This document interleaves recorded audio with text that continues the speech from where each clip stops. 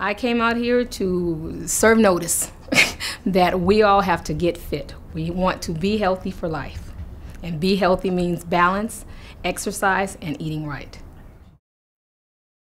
There are a lot of students who are going to see this footage and they're going to wonder, well, I ran track, I run track this. When I get out of school, is it over for me? Do I need to worry about being well, well and fit? You see athletes that I've competed against or and you it makes you wonder were you only trying to stay fit for the span of your career? Because you look at them now and it's like what happened? It's not about being fit for a period of time it's being fit for life. It's to live long. You have one life to live and you deserve every opportunity. You set goals and dreams for yourself.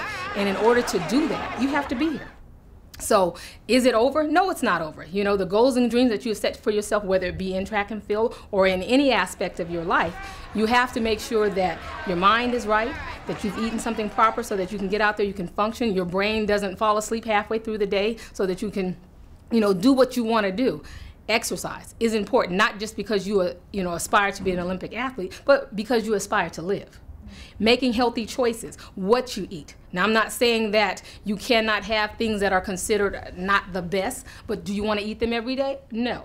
You know, it's it's watching what you eat, making conscious choices that, you know what, yeah, instead of the french fries today, I might just go with the apples. You know, and and, and, there's a reason for it. It's not just because somebody is telling you to do it because you're an athlete. Athlete has nothing to do with it. It's about being fit for life. I mean, it's a lifestyle change. It's not a diet. Diets last for a fad, a period of time. A lifestyle is something that you do for, for, for life. And you never know who's watching. When I look at my daughters and the lifestyle that I have set up, they've already you know, adopted that as their pattern where my daughter who's five now just started school, she'll go to school and say, Mommy, can I have some lettuce in a bag? I'm like, okay. but at least she's got it and she understands that when we go out, you can, and not saying you cannot go out, when we go out on your plate, it's about color. Do you have all the colors? Do you have orange? Do you have, you know, do you have something green? Do you have something yellow? Because that makes for balance. And, and that's what it's about.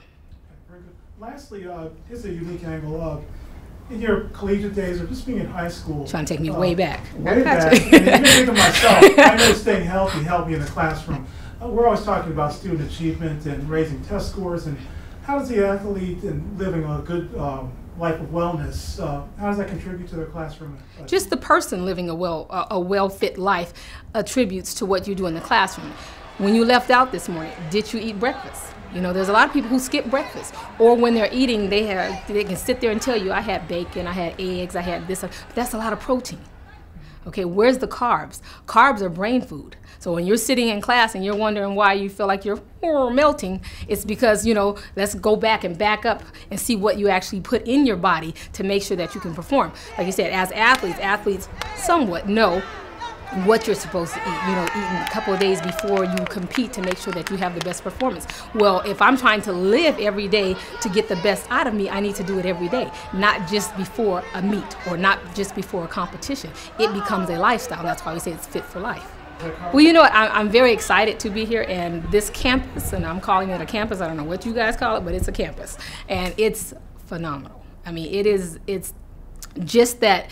I mean, it shows that the care that there's someone who's out there and that you are willing to put in the dollars, put in the time, put in the effort to educate our kids, to help them get the best out of life for themselves. They are our future.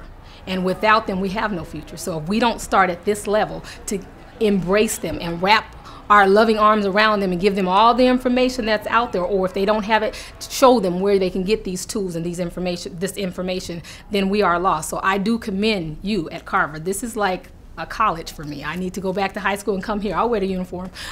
this is great. It, it, truly is great, and you guys should be commended for what you have done so, thus far.